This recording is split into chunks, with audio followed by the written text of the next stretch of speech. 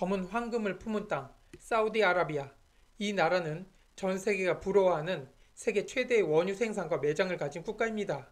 40년 전 1980년대만 해도 1인당 GDP가 2만 불에 이르러 미국 13,000불, 일본의 만 불을 뛰어넘고 있었습니다.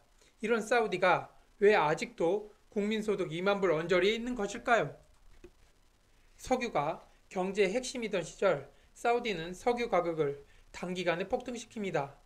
석유의 공급이 제한적이니 우리가 생산량을 줄이면 가격이 폭등하겠지만 비산유국들은 선택의 여지가 없으니 그냥 비싼 석유를 계속 살 것이다. 이런 생각을 한 것입니다.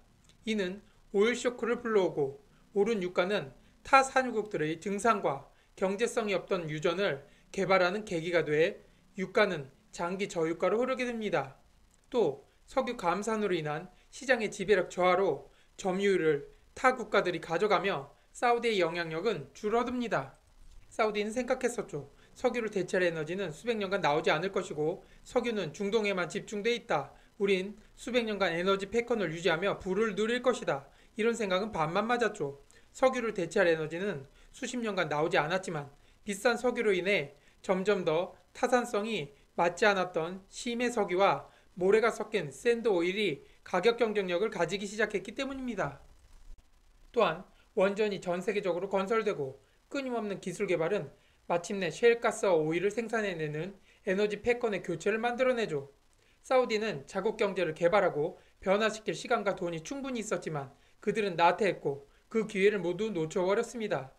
자국의 산업은 석유 정제 산업이 전부였고 경제를 움직이는 사람들은 전부 외국인 노동자였으며 자국민들은 복지국가 사우디 안에서 가난하게 사는 아이러니가 만들어졌습니다. 석유 수출로 인한 부는 모두 왕실로 집중되었고 석유 국제 유가 가격이 저유가로 흐르면서 사우디의 재정 수지는 악화되었죠. 또한 수십 년간 인구의 폭증도 국민 소득이 제자리 걸음하는 중요한 이유 중 하나입니다. 1980년 천만이던 인구는 2020년 현재 3,500만에 육박해 세계에서 가장 빠른 인구 성장을 기록했죠. 예를 들어 인구가 증가하지 않았다면 사우디는 현재 3.5배의 1인당 GDP를 가지고 있을 거라는 계산이 나옵니다. 많은 이들이 석유가 난 산유국을 부러워합니다. 하지만 석유에만 의존한 나라들은 오일의 저주라 불리는 경제 후퇴나 정체를 경험하게 되죠. 반대로 자원 빈국 중에서 자원의 부족분을 기술로 극복하는 독일 같은 나라들이 있습니다. 그들이 한 말 중 식민지 대신 화학으로 라는 말은 기술은 자원을 대체한다는 것을 뜻하는 말입니다. 4차 산업혁명의 시대에 새로운 에너지인 핵융합과 기타 여러 에너지들의 개발이 열어 올리고 있는 지금 우리도 자원 개발은 뒤졌지만 기술은 앞서 나가 세계 에너지 시장을 선도하는 국가가 돼 세계적인 부강국의 위치를 차지하길 희망해 봅니다.